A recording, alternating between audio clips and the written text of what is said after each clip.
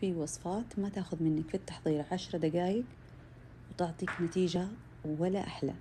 أحتاج صينية فرن أحط عليها قصير وعليها ورق زبدة وعندي هنا اثنين كيلو من اللحم النعامي الطازج. حطيت عليه شوية زعتر وفلفل أسود ورشة من الملح البحري. بس هذه هي كل مكوناتنا. أحط عليها شوية توم. إذا أنا حابة نكهة التوم إذا مو حابة أقدر ألغيها. أحط ورقة تانية من ورق الزبدة وأغطيها مظبوط وورقة تانية من القصدير وألفها تمام وأغطيها مرة كويس. أحطها في فرن حرارته 200 درجة مدة ساعتين إلى ثلاث ساعات على حسب ما يسوي معايا اللحم.